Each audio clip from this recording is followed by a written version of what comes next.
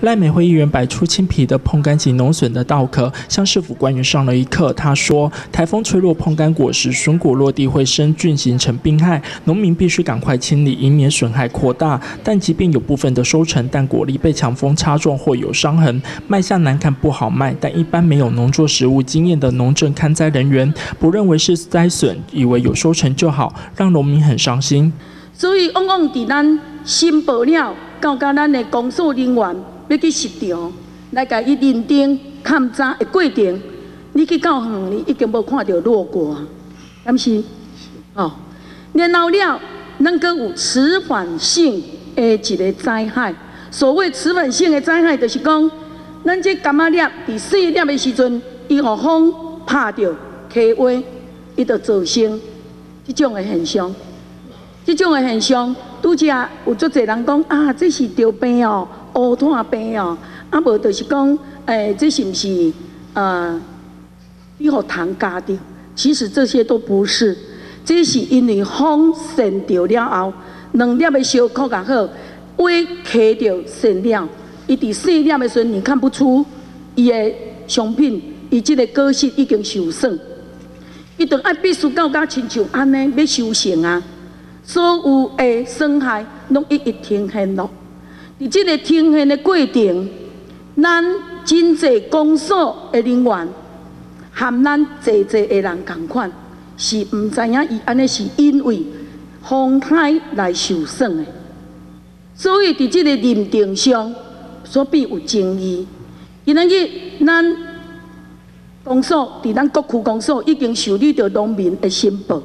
为虾米咱那会接二连三拢会来发生着？咱的农民，搁再来甲咱的公所抗议，搁再来甲咱的真情，啊，伫遮安尼，搁再搁爱搁请到中央农农粮署的人员，搁再来一遍的一个协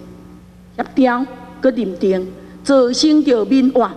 农业局长许汉清表示，中央补助分现金补助与专案补助，已经注意到补助时申报时程问题，将检讨改善一致做法，缩短补助流程。目前专业农业人员不足，只能请农经客或村里干事帮忙鉴定农损。为此，农业局将会加强训练鉴定技术，让行政人员判定农损能够更加准确。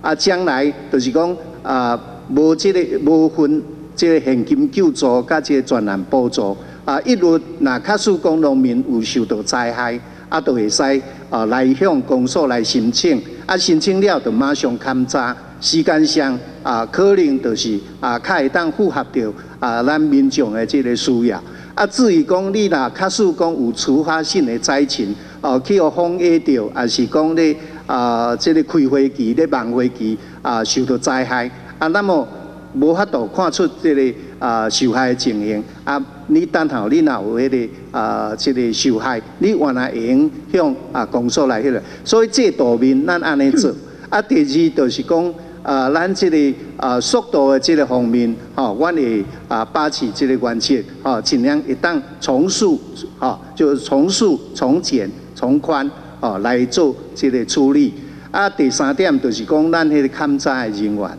啊，讲起来是安尼啦，吼，隔行如隔山啦。啊，尤其咱即摆现主是公所的这这人员，农业的人员呐，真不足啦。啊，可能都爱动到啊，其他的啊，这个呃人员，就是讲呃，咱农经科的其他无读农的人，啊，也是讲迄个传理干事啊来到帮忙，因为迄面积足辽阔，数件数足济，啊，所以这部分吼啊，阮会啊加强啊，这个训练。哦，和和每一个人对这灾害的这个判定啊，会当较准、较正确。赖美惠跟建议市府，农民大半时间都在山上农忙，不见得会看报纸或电视上网络，因此希望农政宣导相关资讯要注意城乡差距，让农民及时掌握政府政策与配合。记者黄俊怀台南报道。